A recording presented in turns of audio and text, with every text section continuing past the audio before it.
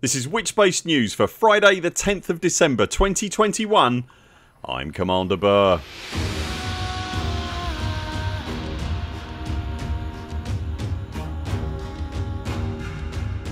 In a bumper edition of Elite Dangerous News this week Update 9 brings patches for Elite Dangerous Horizons and Elite Dangerous Odyssey as the first new SRV in 6 years arrives in the game I'll share some thoughts on where it and the Scarab sit now.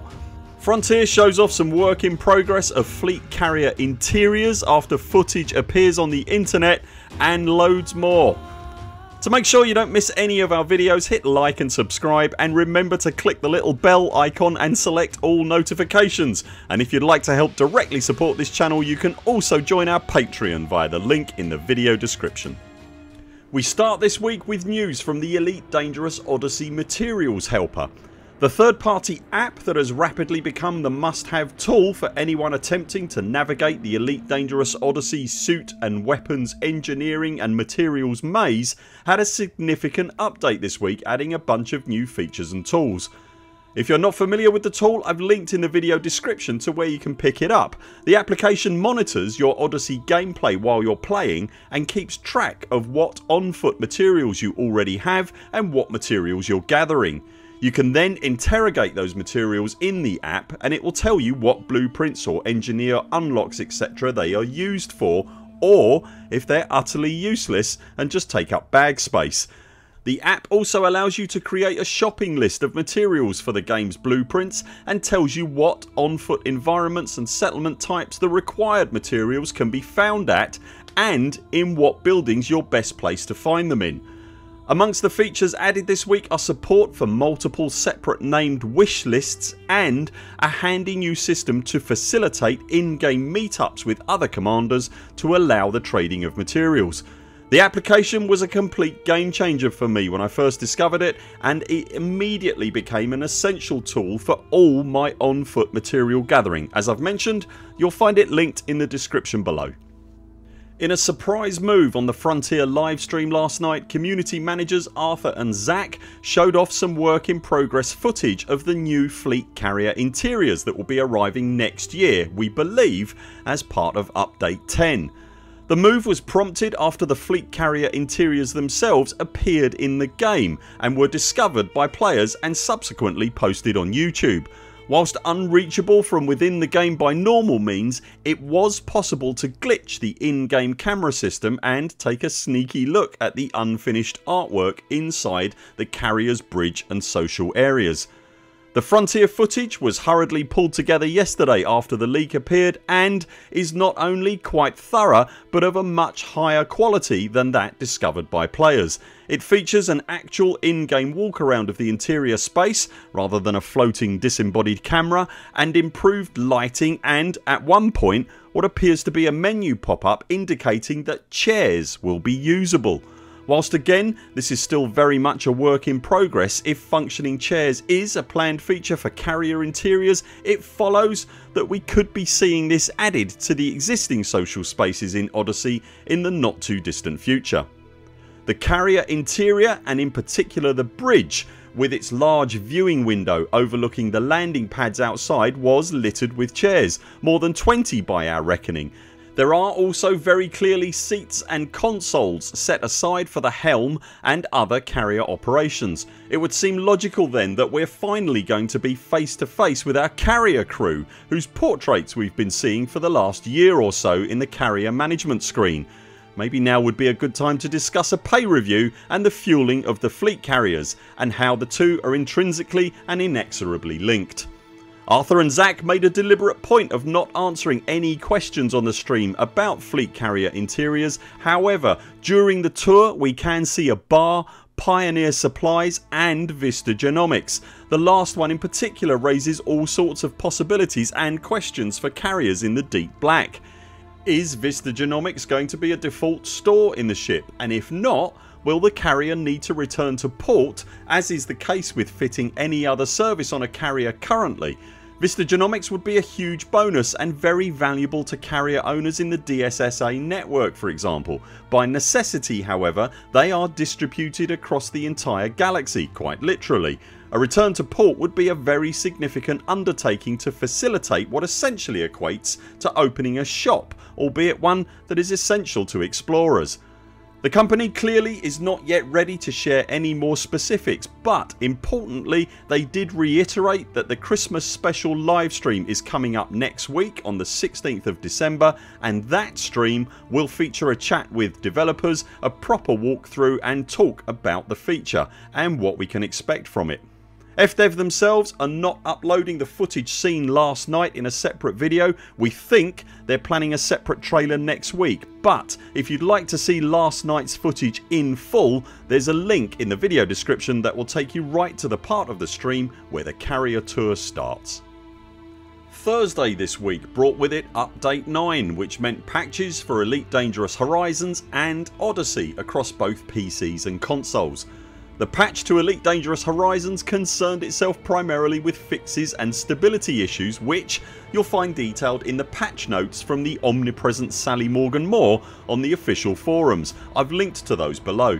Also included in the patch for both Horizons and Odyssey across all platforms was the new multi-limpet controller that we detailed in our update last week. The controller itself is currently the subject of some questioning from the community as, as of the time of this video at least, it comes pre-packaged with some extraordinary mass statistics that make it heavier on its own than some of the smaller ships. This is either an error that's crept into the code or it is in fact made from the matter collected from a collapsed star. The patch to Odyssey brought with it as you'd expect a further raft of update, fixes and optimisations. Again the general hearsay that we're getting from the community at large is that frame rates across the board seem to be creeping up as the optimisations take hold and the dark days of May and June now do seem to be a rapidly receding memory. As Frontier announced last week the ambient light of planetary surfaces got a very significant overhaul with update 9 with planetary surfaces at least now picking up the lighting hues from the local star. As we mentioned last week this is particularly evident at sunrise and sunset. For example if you go to a planet close orbiting something like a brown dwarf you'll get some very deep hues of red and pink reflecting off the ground at the extremes of the day. You can see some example comparisons from pre and post patch on screen now. The big headliner for Elite Dangerous Odyssey was of course the debut of the much anticipated multi-crew capable Scorpion Combat Surface Reconnaissance Vehicle. The tougher armoured version of Elite's diminutive armed surface rovers features two weapons. The gun is referred to as a surge repeater and is a rapid fire weapon that increases in accuracy and fire rate the longer it's fired for. The missile system we saw in the trailer earlier this week is known as the Aculeus and it can be fired prior to lock on as a dumbfire round or as we'd suspected with the benefit of post lock on internal guidance.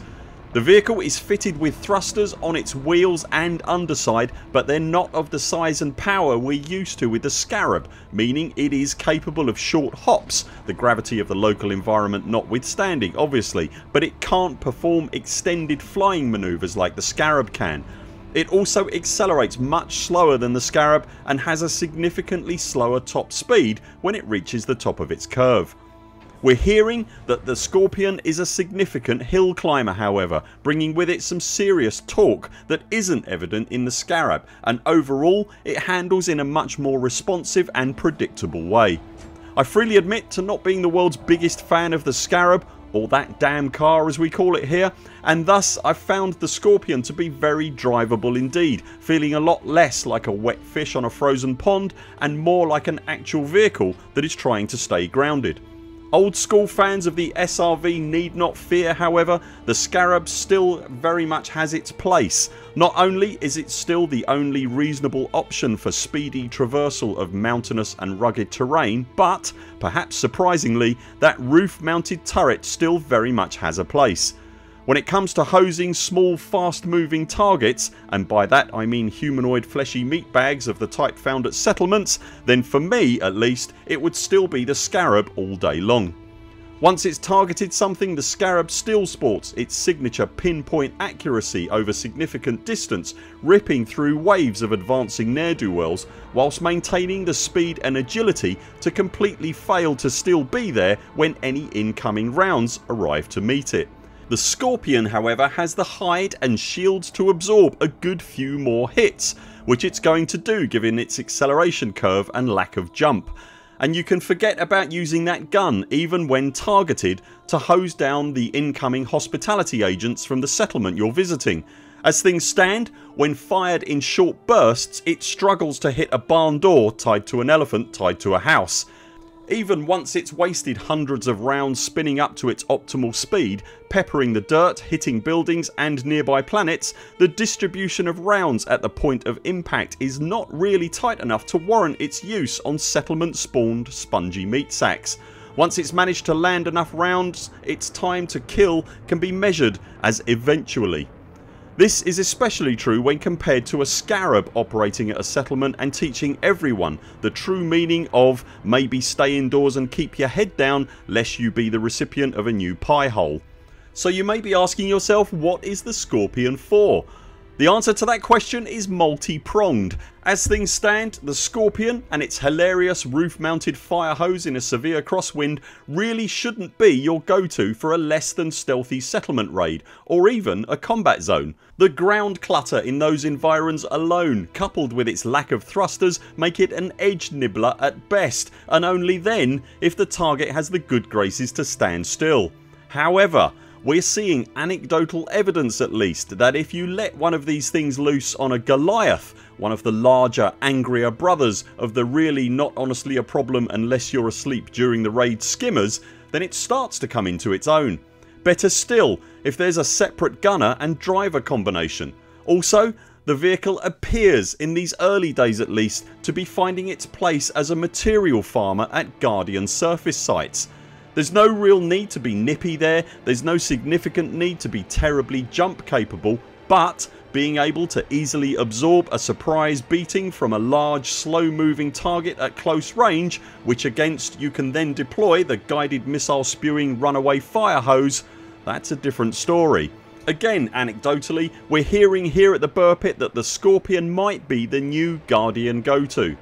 There's also some evidence from our own let's call it science that the diminutive Super Mini is very capable when it comes to facing down other surface vehicles and whilst that might not be much of an urgent requirement at the moment Frontier have hinted at least on streams that NPC SRVs might be in our future. If we had our guess we'd say that the Scorpion right now has some limited very specific uses that it's extremely good at and whilst the Scarab still definitely has its place you may prefer the driving style of its younger brother for some previously Scarab specific work depending on the terrain as the Scorpion seems in its element in mostly open ground.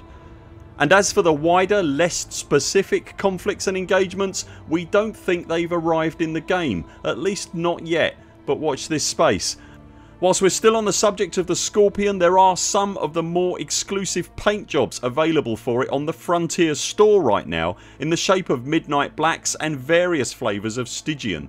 These are generally an annual time limited option the opportunity for which runs out next Friday the 17th of December and won't usually be available again until this time next year. With regards to sticky issues in the game community manager Sally is maintaining and updating a thread entitled Update 9 immediate issues of note. The thread lists some issues that the company is investigating that immediately impact gameplay following update 9 or are previously reported issues that still require some attention following update 9. Some premium examples of those listed include shipyards not loading, Scorpion ammo not restocking and ship fire groups being wiped following the patch. If there's something particularly sticky that is affecting you it's worth checking out the thread to see if Frontier are already aware of it. As always you'll find this and everything we've talked about today linked in the description below this video. Have you bought yourself a Scorpion SRV and if so what are your feelings about it and what are you using it for currently? If you're a console player have you outfitted the new multi-limpet controller and how are you finding it compared to the task specific controllers? Let us know in the comments below. That's it for now. Thanks very much for watching. We'll be back later this week with more videos. Until then 0 7 CMDRs follow the greens on the way out and do keep clear of the toast rack. We very much look forward to seeing you next time.